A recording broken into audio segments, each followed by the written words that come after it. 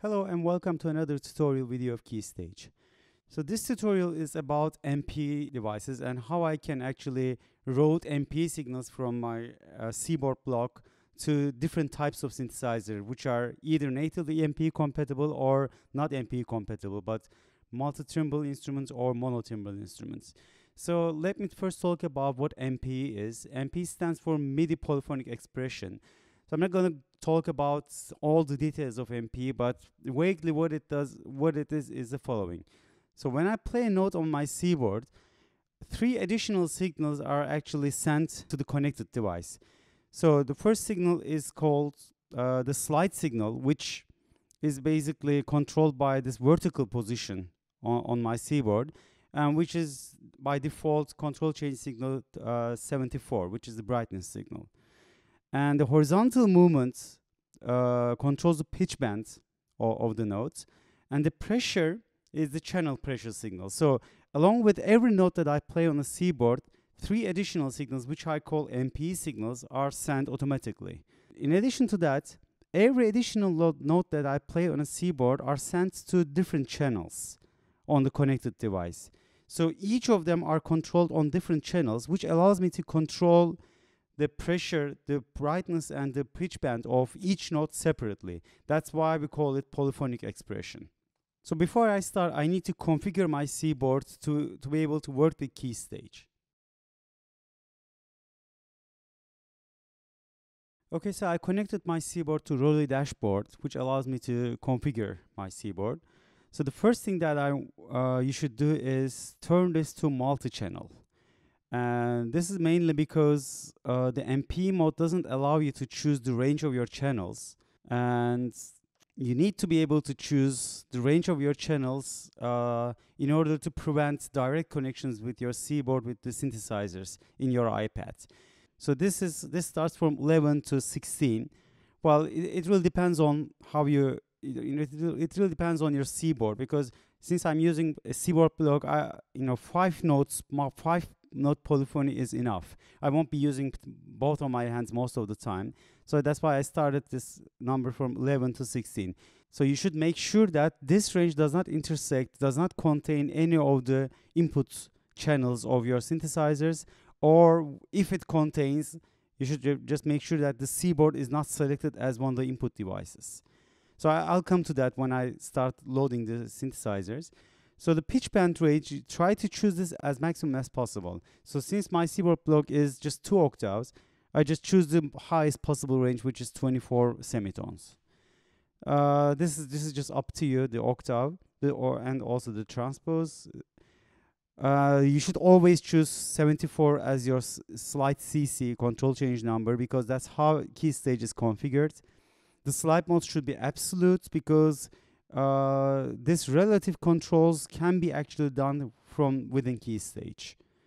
And these tracking modes, uh, they are not really important and these are just up to you. These, so the most important thing is that you choose multi-channel and choose your start and, and mid ranges such so that you don't have direct connections.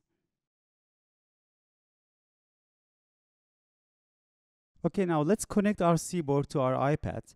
So I'm using this free program called XKey. This is actually a program that allows you to connect your uh, Bluetooth XKey Air to your iPad, but it actually works uh, for any Bluetooth device. So I can see that Seaboard here. So it's connected. Now I'm gonna use three different synthesizers, three three apps to demonstrate MP routing with KeyStage. Uh, so I make sure that my KeyStage is not open so the first instrument is the Synthmaster player. So this is an MP compatible instrument. So when I play my Seaboard, I can it's I can see that it's directly connected to Synthmaster, and I don't want that. I just want to, uh, to route all the signals through KeyStage. So I look at the MIDI con controls. Now the problem with Synthmaster is that you cannot really choose the MIDI range when it comes to MP. So I, I see that MP is enabled here, but it doesn't allow me to choose a range of channels. Uh, I can either choose all channels or a single channel. But fortunately, it allows me to choose the MIDI inputs. So I ch just choose network connection, which is not connected to anything. So this basically cuts the direct connection between my Seaboard and SynthMaster player. Okay, the next app is Sunrizer. Uh, this is a mono timbral instrument. It's not MP compatible. So I make sure that the background mode is on. And when I look at the MIDI channel, it's MIDI channel 2.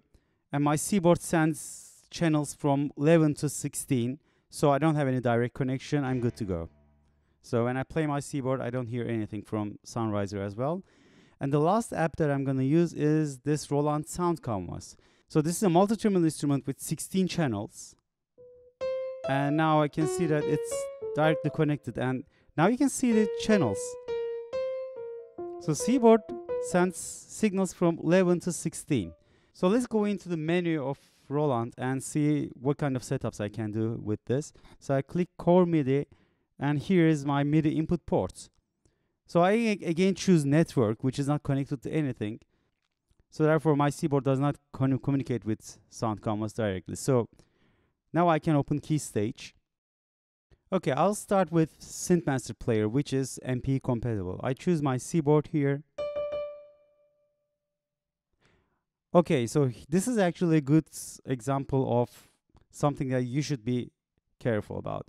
So now, even if I made all my connections and make sure that my Seaboard does not communicate with any of the devices, now I can hear something. I can hear the notes even if my output is not there. This is because when I open Keystage, the virtual port of Keystage basically entered into the system of iPad, the core MIDI of iPad, which basically changed this back to Omni. So every time you start up a new app, its MIDI connections gets into the system, this basically resets. And some apps does that. So you have to make sure that you just open all your apps and then then just check this MIDI connection. And sometimes uh, SynthMaster player also does the same thing. So even if it shows network connection here, sometimes when you open a new app, this just turns into all sources and then it automatically starts this direct connection. So you just make sure that you have none of the connections here. Okay. So I have my Seaboard and I'm gonna choose SynthMaster player. So when you are using Seaboard or any MP instrument, uh, you should always turn this MP on. This is one thing. And so these channels, you can choose multiple channels so SynthMaster Player accepts signals from all channels, so I simply choose all channels. Now I want to demonstrate something. If this MP is off, what happens here is when I play a note, that note is sent to all 16 channels of SynthMaster Player. So basically, a 16 copy of this note is played on SynthMaster right now. This is definitely something that we don't want. But when I turn MP on, the MP routing is enabled, so every note that I play is routed to a single channel out of these 16 channels. So how Keystage works is, is the following. The first note that comes from Seaboard, for example, it's from channel 11, is routed to the first available channel or this, on this output channel, which is channel 1. And the second note is, direct, is routed to the second available channel. So now any additional note is sent to different channel. So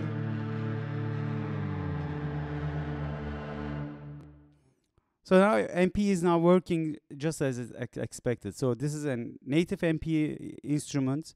So we don't have to do many configurations. But I want to click on this advanced tab and just make sure about one thing. There is this master output channels section.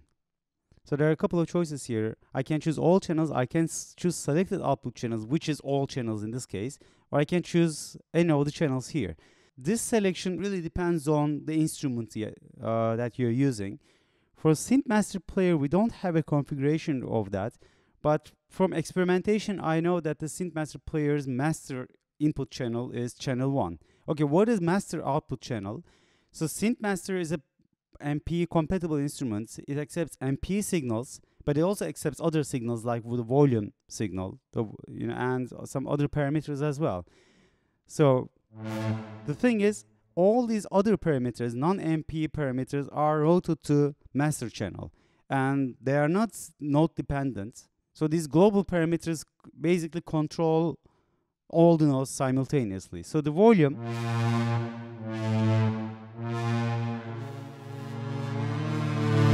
this volume basically controls all the nodes. It's, it's not MP uh, independent. Okay, now let's move on to Sunrizer, our monotimbral instrument. So I choose my Seaboard here and I choose Sunrizer and now that it's channel 2. Okay. Let's choose another instrument here.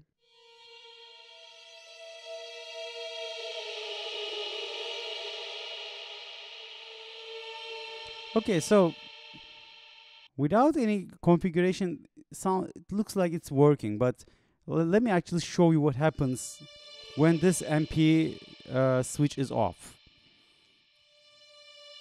So as you know, the the slide parameter, the, the vertical parameter sends uh, control change 74. And on Sunrizer, I configured it in such a way that the slide parameter controls the effect depth, the amount, the effect amount on, on Sunrizer. But if I play two notes, you see that the, the effect depth basically alternates between the two vertical positions of my notes. And if I play three notes, it basically starts altering between the three notes. But if I turn my MP switch on,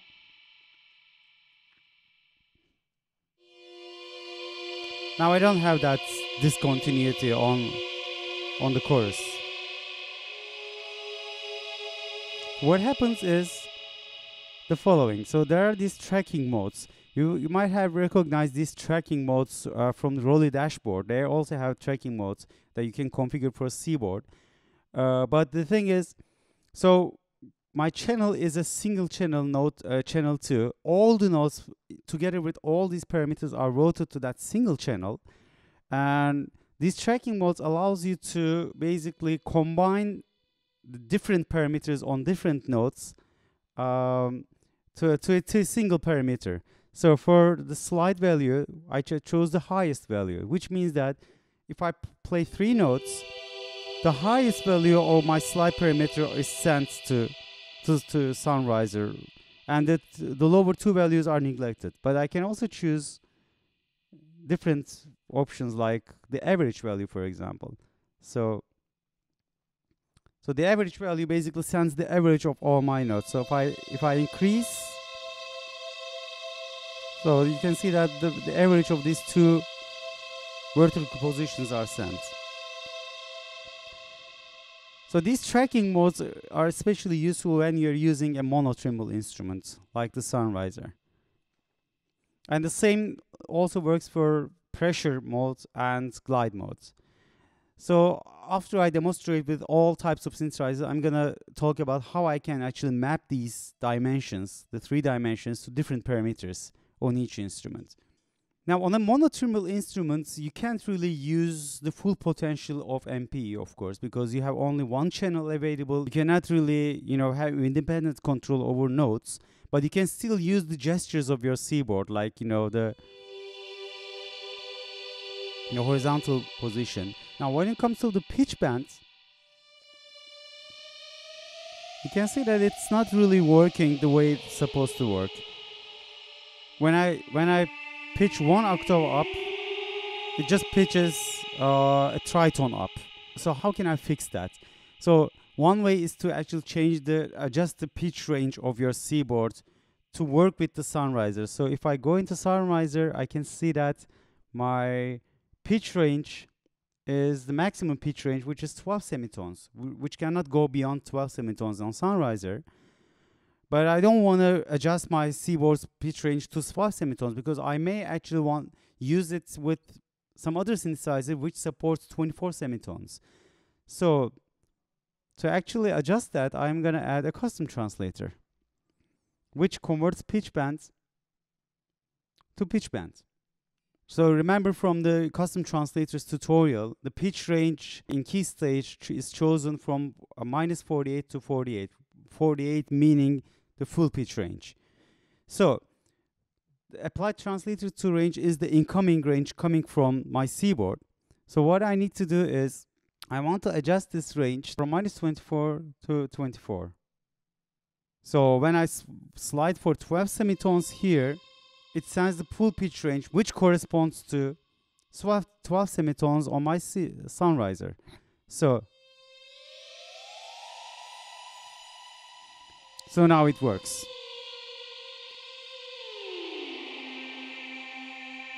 So you just have to do a, a, little math to configure all these. And what I usually do is I save this uh, preset to uh, board 12 semitones. So whenever I have an instrument which only supports up to 12 semitones, I'm just going to use this preset uh, to change my pitch bend range. Okay, now let's go to Sound Canvas, which is our multi-timbral instrument. Okay, so our Sound Canvas uh, also supports all channels, and I turn MP on. So I have my Sound Canvas parameters here. This is the piano, let's choose a string instrument. Yeah, let's choose this tremolo.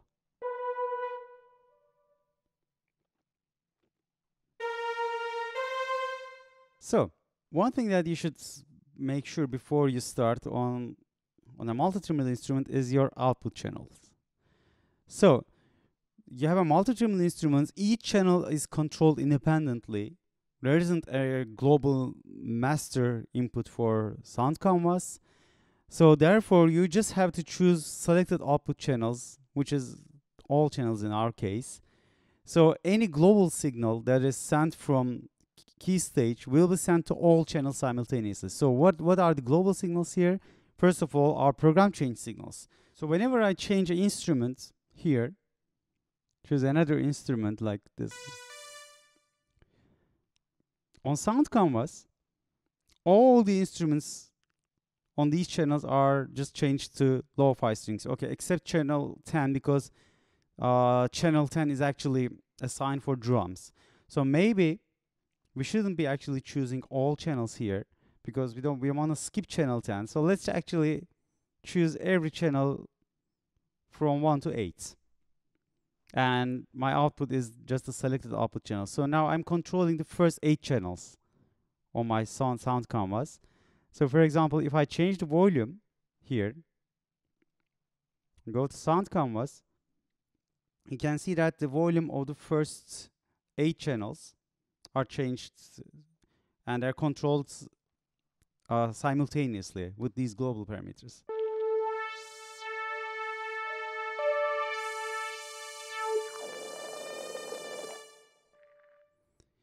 Now, I again have to correct the pitch pitch range, and because sound canvas's pitch range is only two semitones, so I have to basically do the same thing so let me add this 12, 12 semitones preset here. And instead of 12 semitones, I need to do this to 2 semitones. And 2 semitones corresponds to 4 and minus 4. So now it works. Well, I cannot go beyond 2 semitones because Sound Canvas doesn't really support it. But I can still use those gestures over Sound Canvas.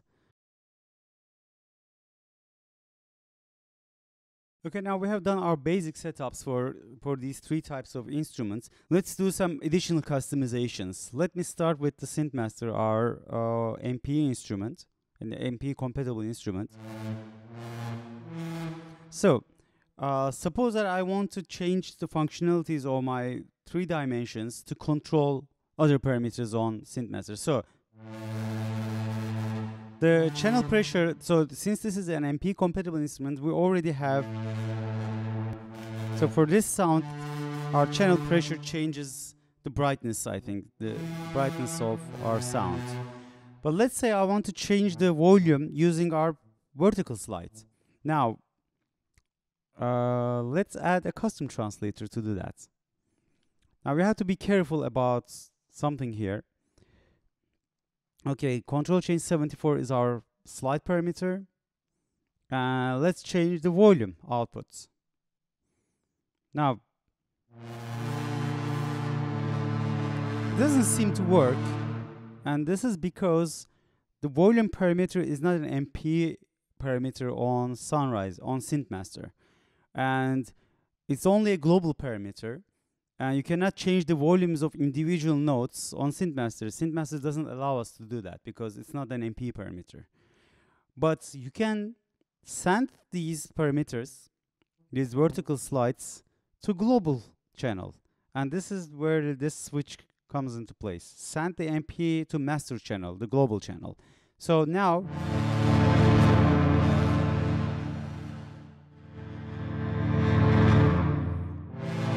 okay, you cannot have individual volumes uh, for each node, but these uh, slide tracking algorithms still also works for uh, signals, those si signals which are mapped to global parameters. So the highest value of these three nodes, well, okay, I need to activate this. Controls the volume of, of SynthMaster. And just like that, you can also do the same thing with channel pressure. So let's change this to channel pressure.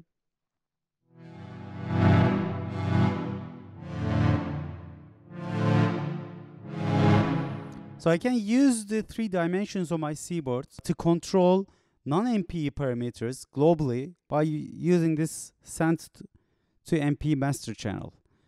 And other MP parameters still works.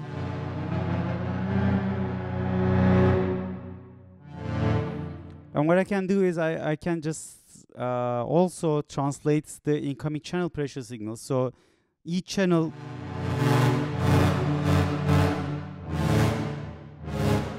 the channel pressure is also mapped and they are mapped uh, as MP signals so they are independently controlled over each node. So for monotimbral instruments you just have to do the same thing because you have a monotimbral instruments you don't have MP con control uh, over anything.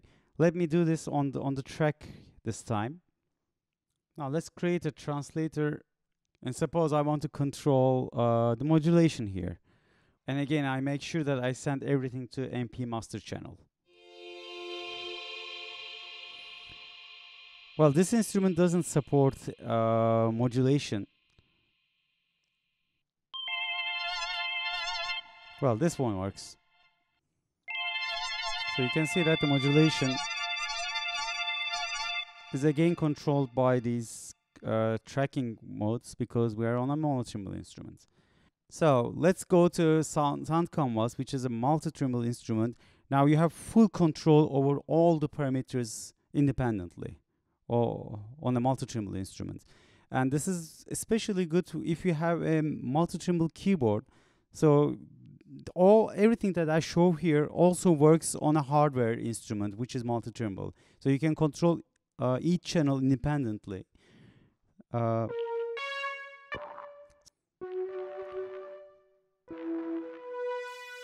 So the slide parameter already controls the brightness.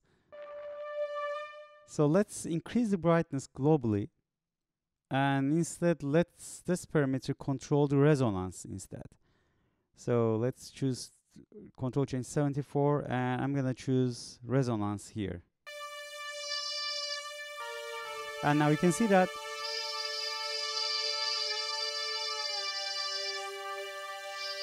These are controlled independently and I don't need to turn the uh, send to MP master channel. Well, if I do that, I again have global control over all nodes. If I turn this off, each node's uh, resonance are controlled independently. So for with multi-timbral instruments, you have more control compared to MP compatible instruments because you can control every parameter with your custom translators. Okay, now let's create some splittings and layerings with these instruments. Well, the layerings and splittings are done in the same way with regular controllers, non-MP controllers. But we have some additional control now. We have another additional slide. This came with 1.3, the slide range. Uh, the slide range basically allows us to define vertical ranges on our Seaboard. So you can manually change these and you can also just tap and touch anywhere on your surface on your Seaboard to choose the upper range or lower range. So so anything above somewhere here is muted. So I, I can just take this here. So these two instruments are layered down here, but up here, I only have control over, over the sound canvas. This allows you to do some vertical splittings and can also include the standard note splitting, uh, the range splitting. So you can basically define rectangles over your Seaboards for, for each instrument.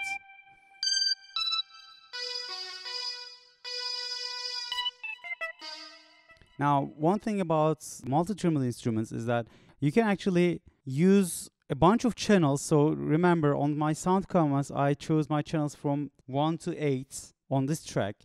So I can create a copy of it and this time I'm gonna be choosing from 11 to 16. So I'm just using the remaining channels on my sound canvas and I can do splittings and layerings with two sound canvas instruments. So let's see. So I can have this instruments. Let's choose another one. Let's choose a piano. Okay, I want to disable my vertical slide. And also I want to disable the pitch bend because I'm playing a piano instrument. So, and let me choose a range for it. And here, let's choose another instrument. And this time, let's choir strings. So the vertical parameter controls the brightness. And let's say I want to control uh, the pressure to change the resonance or the volume. So let me actually show you one more thing. This relative control also works with the MPE. So I can have an initial volume value here and our pressure basically changes the volume relatively on each note.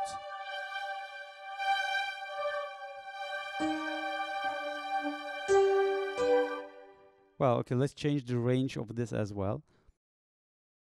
So I have my splits and full control over the piano on the lower range and the upper uh, on the upper range I have the string choir with full MP control over parameters of my sound canvas.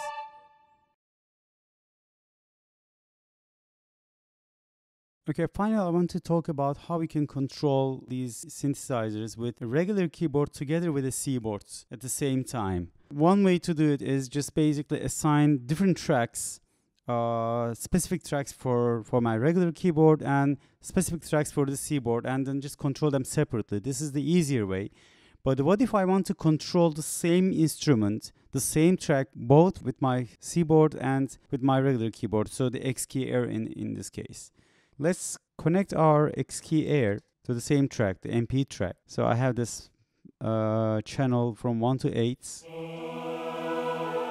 So it automatically works but there are some a couple of details that I want to talk about here. This master input channel. So KeyStage treats every non-MP parameter as global parameter. Control change 74, pitch bend, aftertouch, and note signals. So these are MP signals. These are considered as MP signals. And any other signal is automatically considered as a global signal, like this modulation signal, for example. And whenever KeyStage receives a signal, I mean, a track with MP on receives a signal other than these MP signals, they're automatically routed to the global channel, to the master channel here.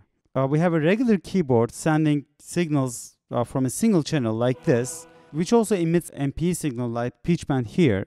Uh, we should specify whether it's a global channel or a non-global channel our X-Key Air sends signals from channel 1 and suppose that I choose my master input channel as something other than channel 1. So the note signals are still received but the pitch bend signals are, are received from channel 12 of channel 1 which is not my master input channel KeyStage thinks that this is an MPE signal coming from an MPE device like Seaboard and it receives an pitch bend signal with no corresponding notes and basically discards those signals. So they're not routed to actually eliminate that problem I have to choose my master input channel to be the same as the output channel of my regular keyboard. So now these pitch bend signals are received from this master channel.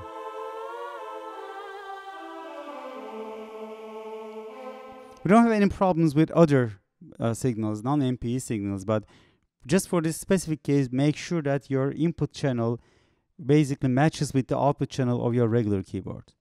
Okay, so uh, we can control our master keyboard together with the Seaboard. So this basically reserves one channel from this list, takes one channel when, when I play my keyboard, and whenever I start adding additional notes, it basically starts reserving additional channels here. So what if I want to uh, switch between these two on different channels? Like suppose XKey is also connected to my Synthmaster player. And I want to create a layering where I use my xKey to control Synthmaster but I want to use my Seaboard to control sound canvas here. But on the second section, I want to use my xKey to control sound canvas. So here, Seaboard controls here, but this basically sends signals to both sound canvas and synthmaster player. To eliminate that, I have these active inputs for each part. And its default value is all inputs. So for here, I just choose Seaboard. And Seaboard controls sound canvas where this only controls uh, my synthmaster player and here both keyboards basically control sound canvas and not only that you can also do things like uh, multiple parts on a single ch channel. And for each part I can choose different instruments like Seaboard here and xKey here. So these are routed to the same channel and I can have different ranges on different parts. For example, I want to assign this part of my Seaboard to control sound canvas.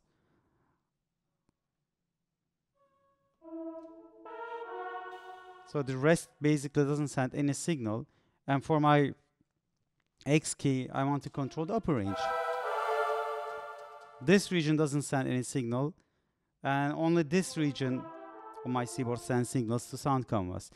And suppose I want to do something like uh, control this slide parameters or let's say I want to control this uh, horizontal slide to control a parameter on the sound canvas without playing any notes on the Seaboard.